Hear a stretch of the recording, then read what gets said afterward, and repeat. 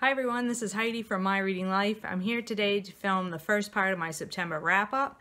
Um, I'm going to talk about, I think, six or seven books in this segment, and then I'll have to do another one at the end of September. I've already read quite a few books this month, so just wanted to get through some of these and not have too many for my wrap-up at the end of September.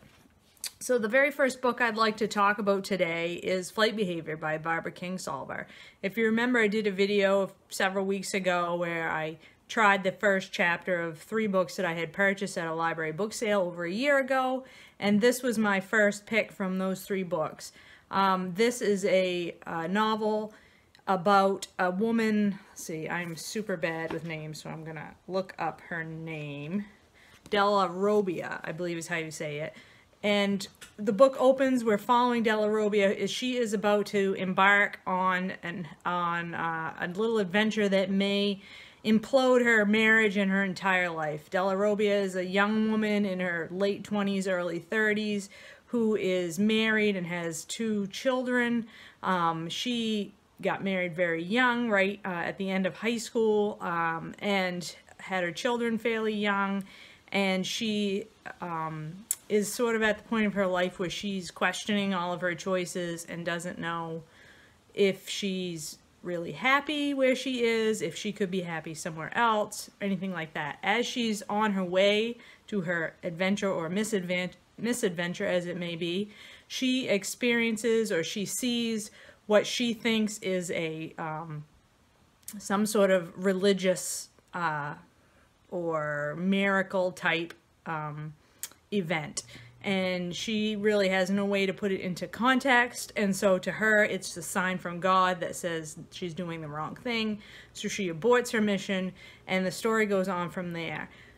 I really loved this book. This book is a has a nature um, aspect to it because the um, phenomenon that Della Robbia observes is not um, a vision from God. In fact, it is something else, and that particular event sort of snowballs into things happening, things happening in Della Robbia's life that she couldn't have imagined happening. So she gets exposed to science and she learns a lot. Della Robbia is a very interesting character, I think one that we don't often see in literary fiction in that she is uh, fairly uneducated. She only had a high school um, education.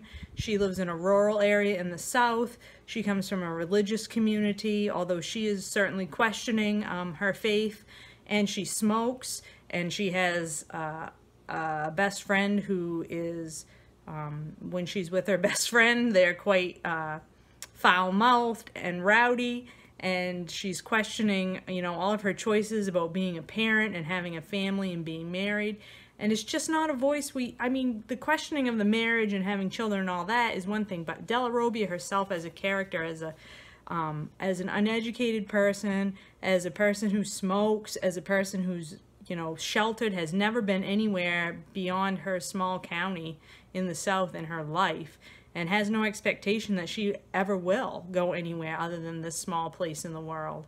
Um, and how that has, you know, kind of kept her innocent in a lot of ways of things that are going on in the wider world and how she begins to break out of that shell and start to learn more about the world and more about herself and her journey to do that and her journey of learning that it's okay to want things for herself. It's okay to want to, you know, see where something goes for herself.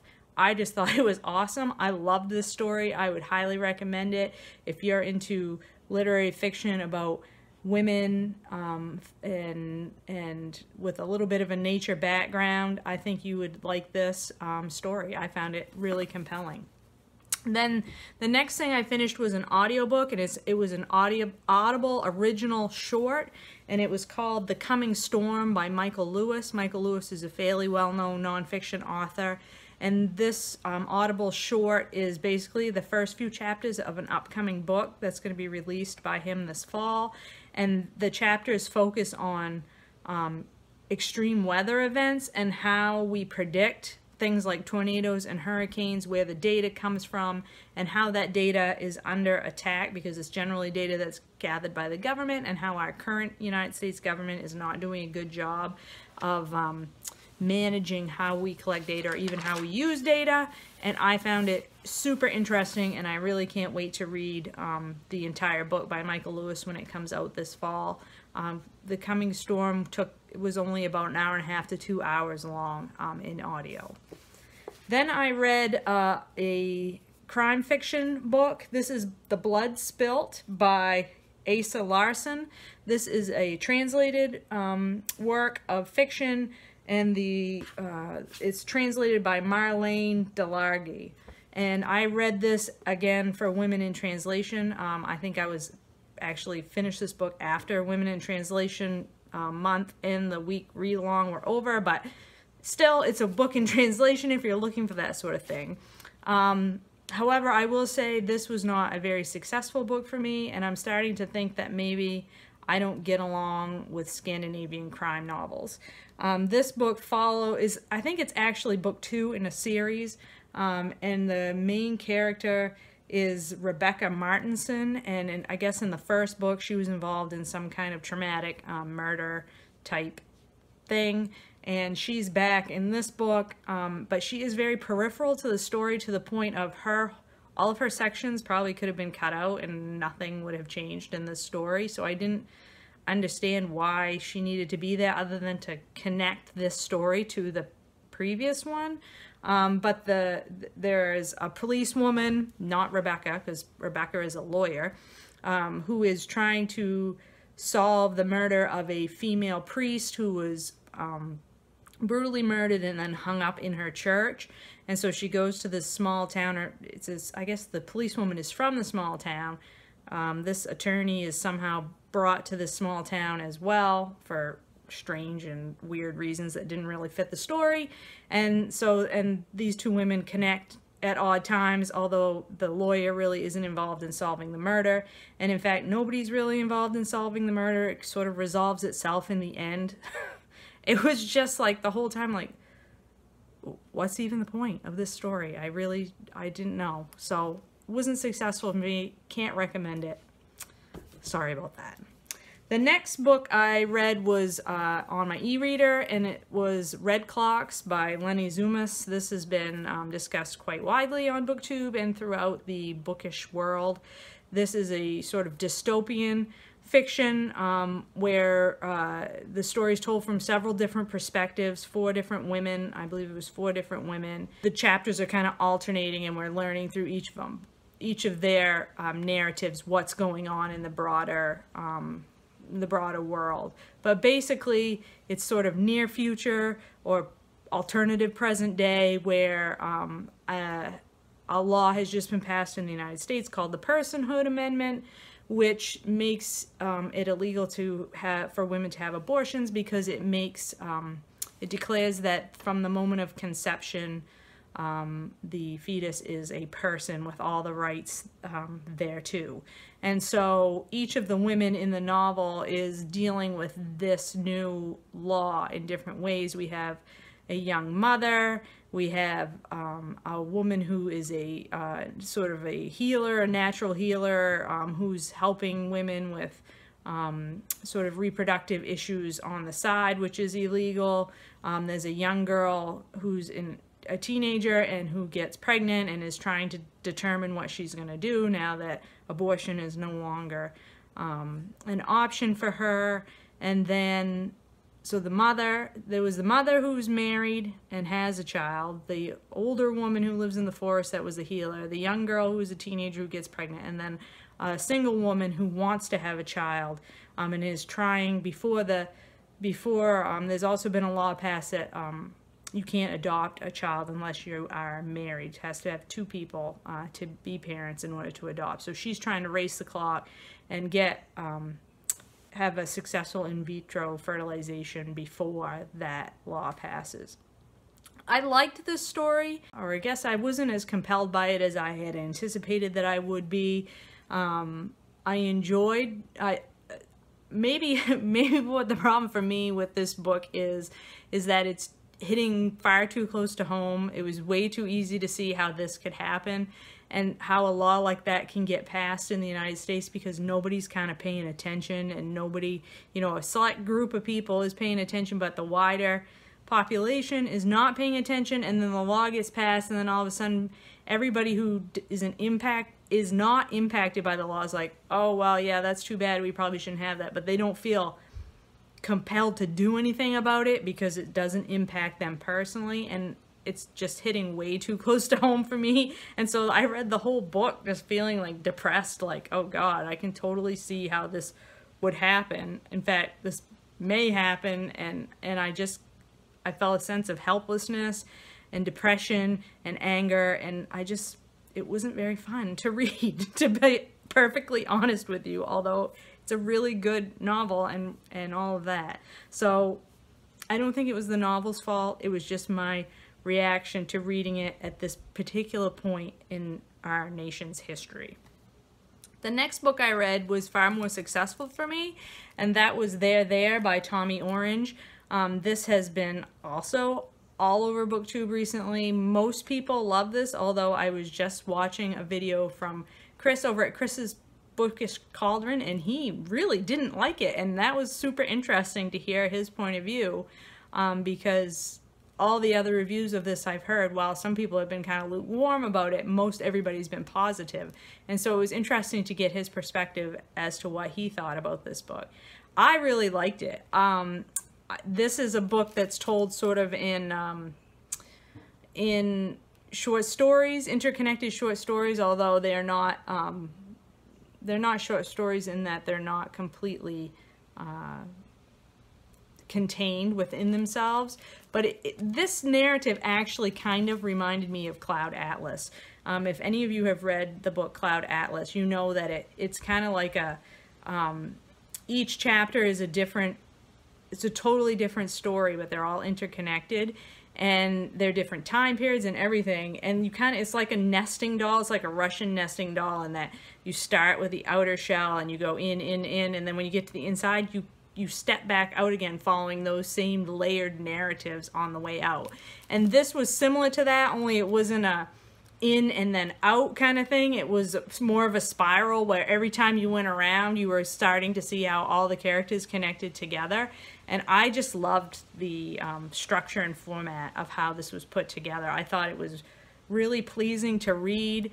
Um, I really enjoyed the feeling of seeing how everything connected together because um, we're following probably like 12 or 14 different narratives, all um, Native American that who are all heading towards this powwow that's being held in Oakland, California.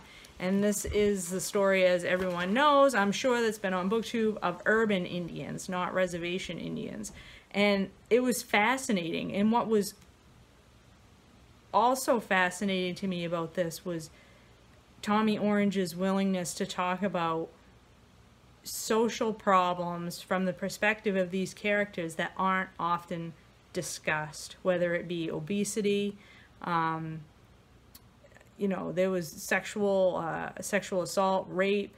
Um, there's lots of there's a lot of social issues thrown into this book, and I can see um, Chris's point in that sometimes it felt like the author was just like throwing everything into one book, um, and and but for me that didn't detract distract me from my enjoyment of it. I really liked a lot of these characters, even though they weren't particularly likable. I could empathize with where they were coming from, um, and I liked the glimpse of um, Oakland as a place, um, as a setting that was really uh, unusual for me um, to read about. And I liked how history was brought into this book in a way that didn't feel um, info dumpy. It felt part of the narrative to me. So for me, this was a successful book, mostly because I really enjoyed the format and the style of how this book was told. I didn't love the ending. I thought the ending was really rushed and I had to read it a couple of times to sort of figure out what had happened and I had I kind of wished that more time had been spent fleshing that part out um, but I think it was part of the narrative style to end it that way, so it was probably um, deliberate on the author's part. I just didn't find that part as successful as I had the rest of the novel. Then I finished um, my latest presidential biography. This is Andrew Johnson by Hans L. Trefousse. I'm not sure I'm pronouncing that right. Um, probably not. And this is a chunker of a um, nonfiction with very small print. And let's just say Andrew Johnson was not a super great guy.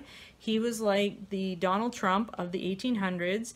He basically almost undid everything Abraham Lincoln has had um, succeeded in doing during his presidency. He um, became president because Abraham Lincoln had been killed, and so he uh, sort of was thrust into the role, and he was a racist, and he did everything in his power to ensure that the Reconstruction would not work, would not um, be done in the way that Abraham Lincoln had wanted it to be done, and the rest of the country wanted it to be done.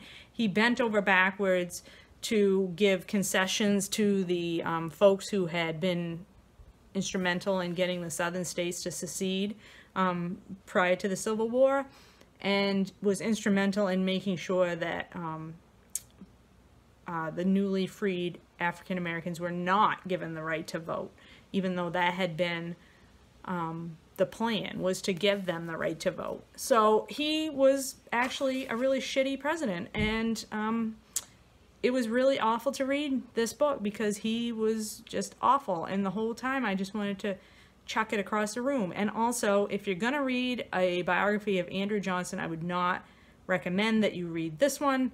It was not well written. It was really, it didn't flow well. It was overly detailed and overly detailed and just boring in most of it.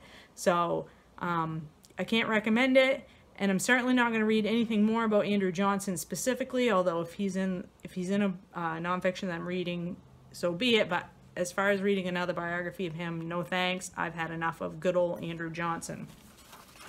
The last book I want to talk about in this wrap-up is another nonfiction, and it's Giving Up the Ghost, a memoir by Hilary Mantel.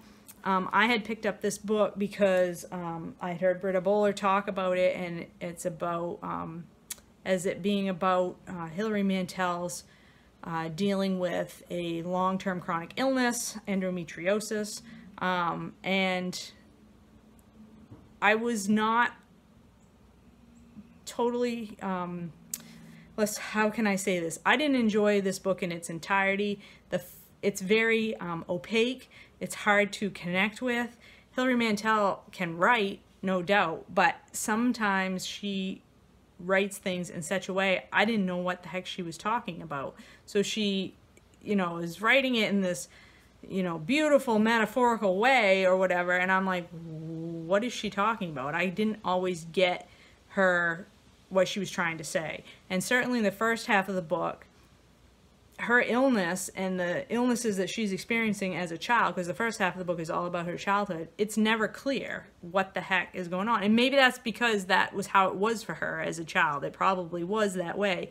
But it was really difficult to read from my point of view, trying to, I would have liked it to be more straightforward and more clear cut what she was experiencing. There was other issues that were going on with her family that I never really could understand what was going on, um, and it seemed to dwell too long on the childhood part. Once we get into her young adulthood and into her adulthood, um, I enjoyed it a lot more. I thought it was more um, clear-cut what was happening to her, a, a, lot more straightforward on her illness and what she was experiencing, um, and how um, her illnesses were impacting the rest of her life. So I did enjoy the second half of the book much more than the first half, but overall I cannot say that this was that big of a success for me. So those are the books that I read in the first half of September. Um, my reading has been going really well in this month, and um, I look I have some uh, books on the go right now that are excellent, and I look forward to talking about them with you uh, in the weeks to come. In the meantime, I hope you're all reading something great, and I will talk to you later.